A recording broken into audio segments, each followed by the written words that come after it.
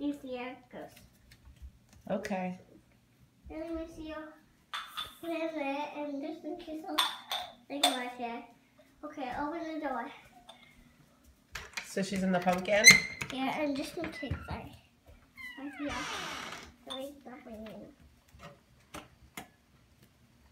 Bye, Fia. She didn't get out. Where is she? Let me see. Is she in there? No. No more Fia. She flew with her family. Oh, that's so good, Mia. Oh, she was.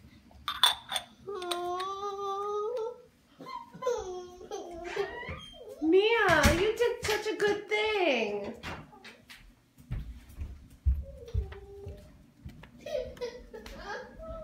But you know what, Mia? You're going to find another one another time, sweetie.